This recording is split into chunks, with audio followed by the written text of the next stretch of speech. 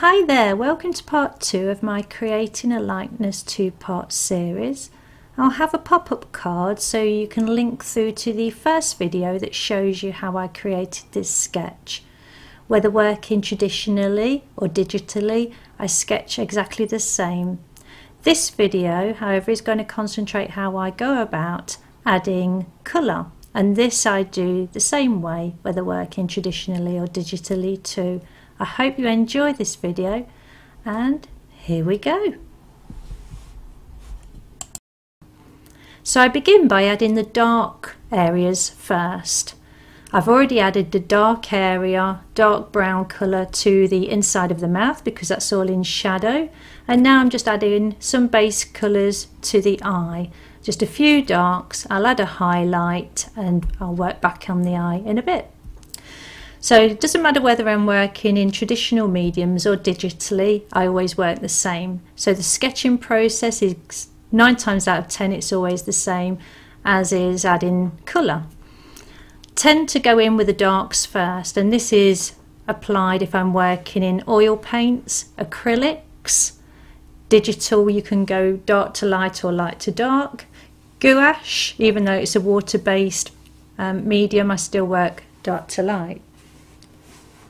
If I'm working in watercolours, however, I work from light to dark because they're translucent um, as opposed to opaque mediums. Okay, so back to this. Zoomed out a little bit. So you can see where I've added some base colours to the eye and also the darks as I spoke about in the mouth. Now add in some darks to the area running down from underneath the eye to the bottom of the jaw. I keep referring back to my reference image the whole time. Now what I'm going to do for, for viewers at home is in the description below, as, along with all the materials that I've used to create this video, I'm also going to put a link there so you can actually use a camel image if you want to create a camel drawing, sketch or painting yourself. And the link is going to take you to a website called Pixabay and the photographs, most of the photographs on there have been added and are copyright free. So that I will put a link to one of a camel that's on there. Although there's plenty of other camels on there if you want to go and take a look. And you can use them to sketch from, paint from, until um, your sketchbook is full of camel designs. There's loads on there. Um, Unfortunately, I won't be sharing the image that I took to work from for this particular painting because I'm going to use it for some uh, branding ideas that I have for myself. I also have some full body images of this particular camel and I would eventually like to make a full painting of him. Okay, back to the painting.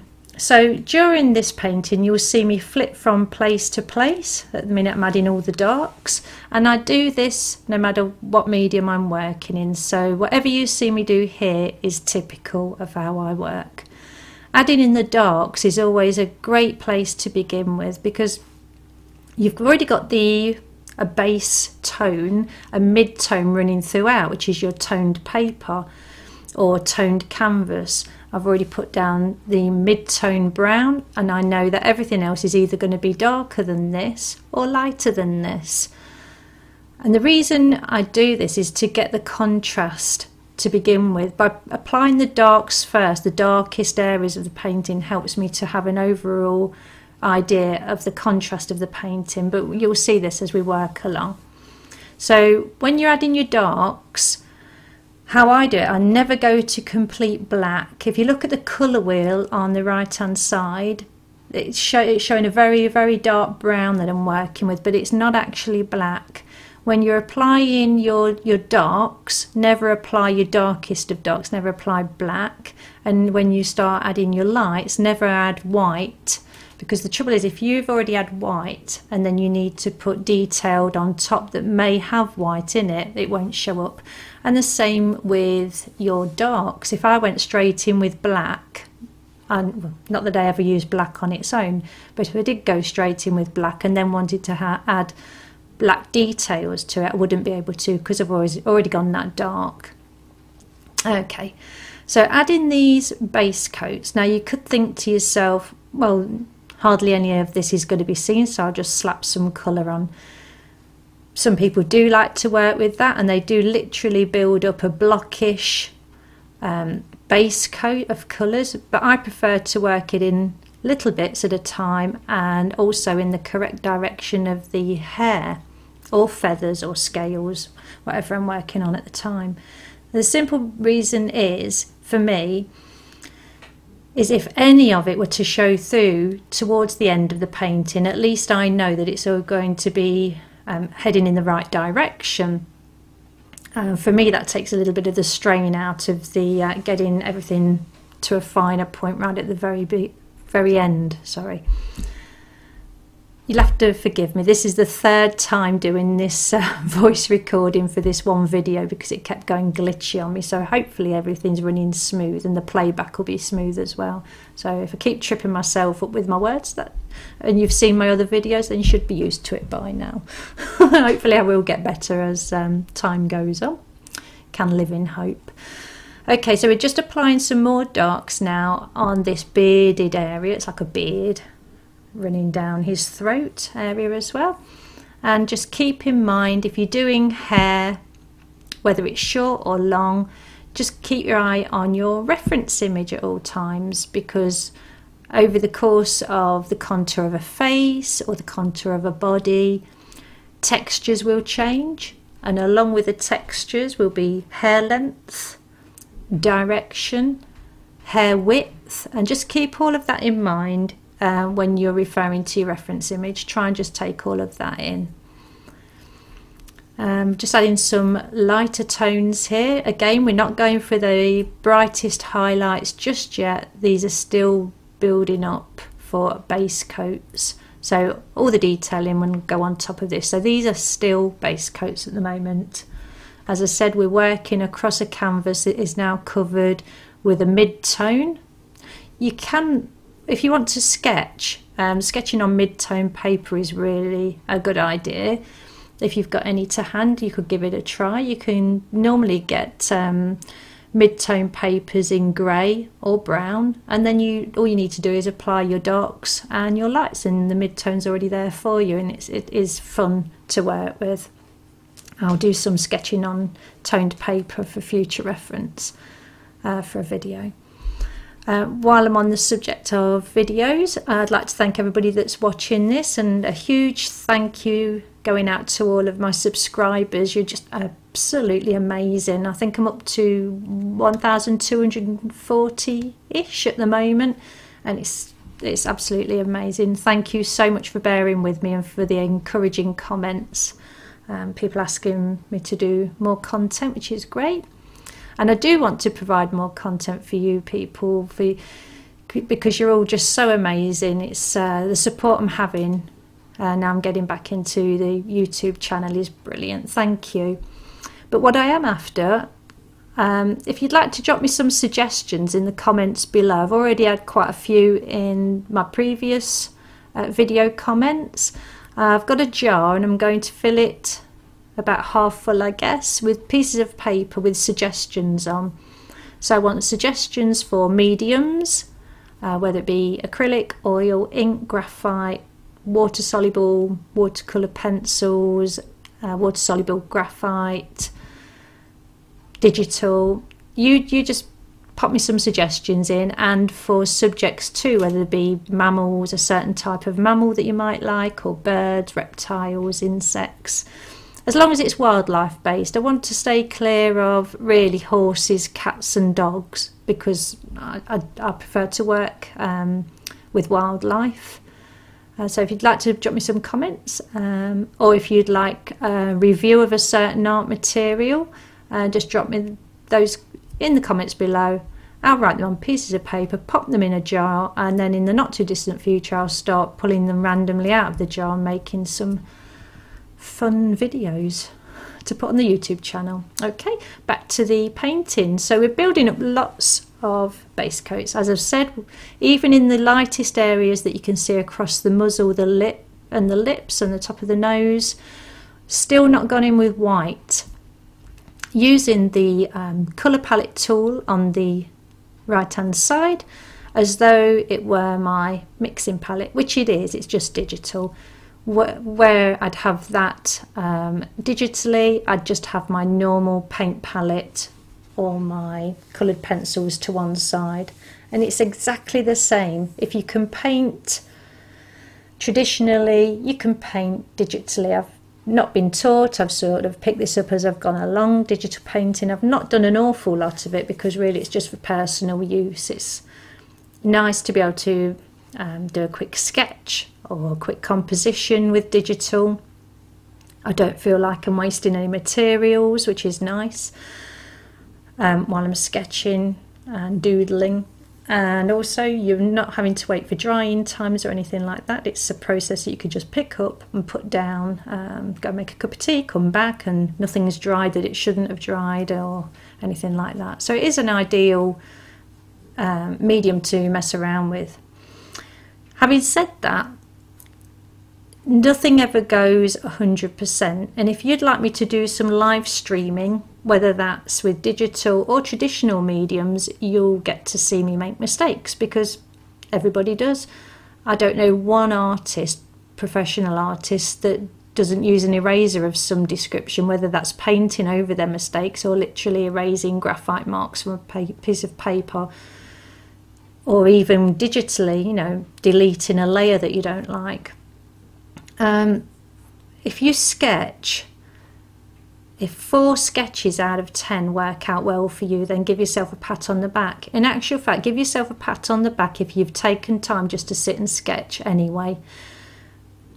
Don't ever think of it that you're wasting your time or wasting your materials in that sense because you're not because every time you sketch whether you realize it or not it's a learning curve. And yes some sketches will prove to be fruitful and you might even go on to produce um, a full painting from them even.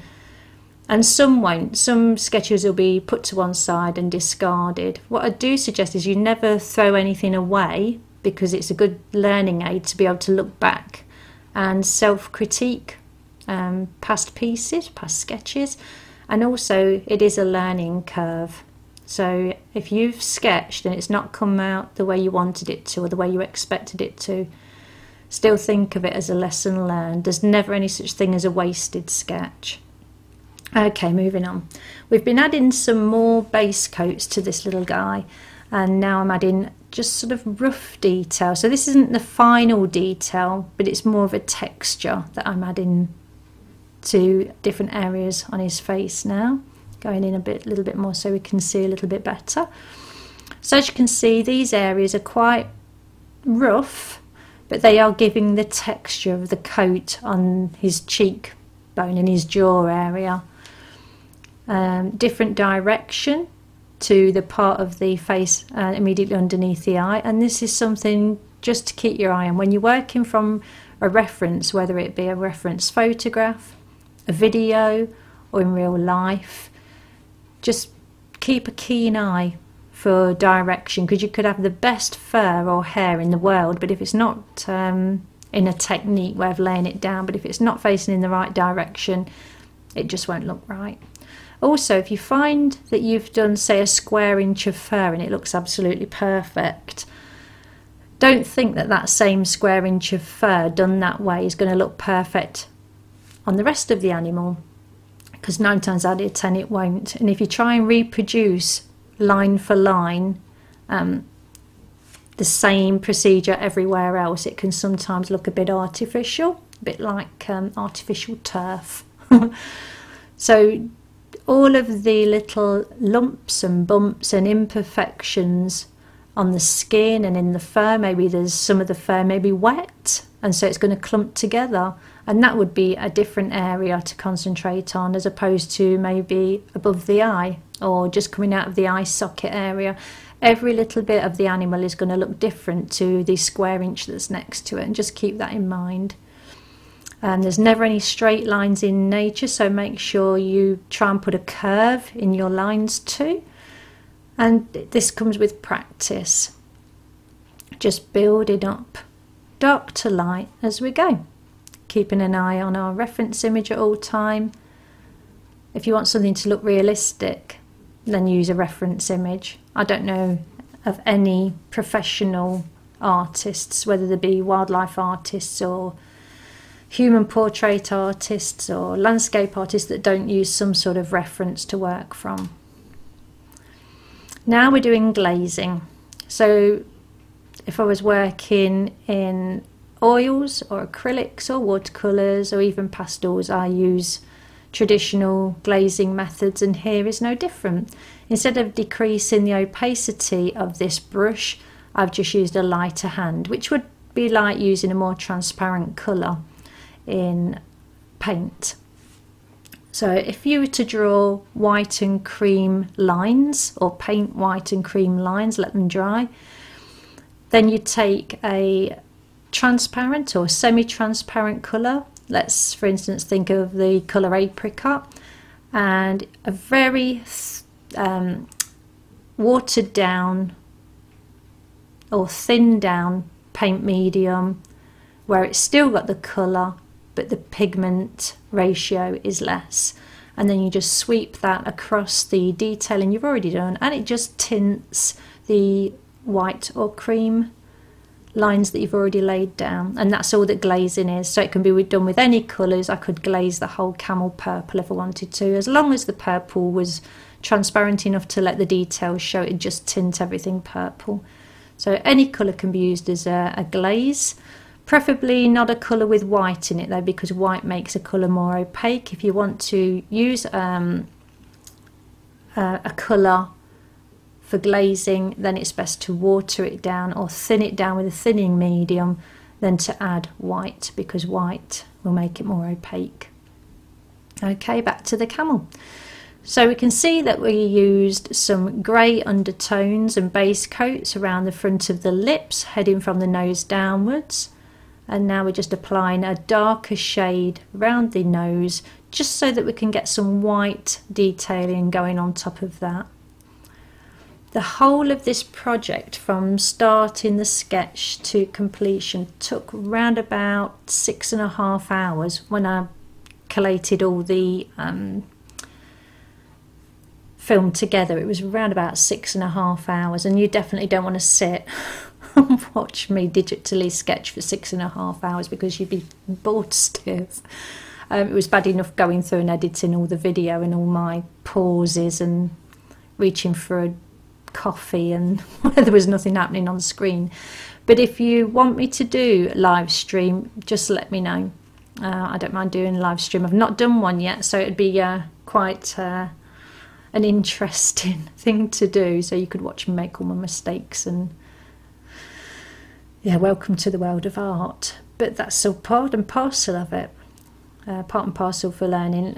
Uh, I don't always know which colour to reach for. I might reach for a colour, trial it, decide it's not the one for me. And if you do, when you're working traditionally, apply a colour to a painting and you don't like the colour, don't panic. Just apply it in a few different other places and that way it looks as though it's meant to be there. If you just um, apply a blob of colour to one area and realise you don't like it, don't know how to remove it, don't just leave it at that because if it's in just one area of a painting, it will stand out like a sore thumb. So try and get that colour into other areas of your painting and then just move on. If you're working in oils or acrylics, um, you can go over that colour so there's no no uh, harm done at all. Uh, working in coloured pencil, you it's probably there to stay, so you could colour over it or glaze over it even. Um, watercolours tend to be a little less forgiving, so you might have to work um, your accidental colour into a painting a little bit more. But the thing is, this is where happy accidents can occur. And I can remember doing a painting of a lion, and I added a little bit of an apricot colour um, to it that I didn't mean to add. And in the end, because it stood out so much, I decided to give the whole painting an apricot glaze. It pulled the whole painting together and it actually made it pop. It looked really, really nice, even if I say so myself. So, yeah, happy accident. And that was the start of my glazing career. okay, moving on. Again, using the colour mixing tool on the right hand side of the page of the screen, sorry, uh, just like a paint palette, just like you're mixing paints at, at home next to the easel, it, it works exactly the same. Uh, people who think digital art is, uh, I don't know, somehow easier than traditional art, uh, no, it's not. It might be less messy, it might be less fussy, as in you don't have to clean brushes and things, but the techniques are exactly the same. You need to know how to layer, you need to know how to freehand to a certain extent. This is all freehanding. I mean, it's not as though you can, you might be able to sit and trace your initial sketch, but after that, you're um, you're literally on your own.